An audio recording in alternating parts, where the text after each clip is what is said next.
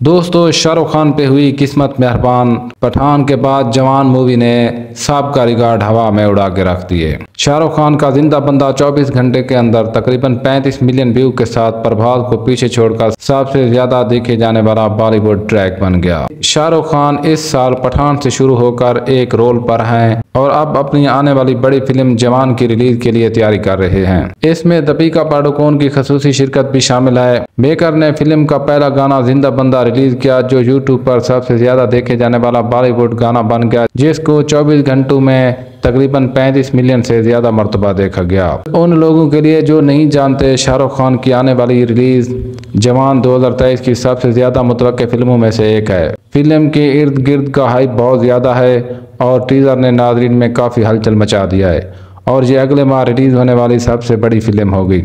जवान मूवी का ज़िंदा बंदा गाना कैसा लगा? कमेंट में ज़रूर बताएँ और चैनल को सब्सक्राइब करना मत भूलिए।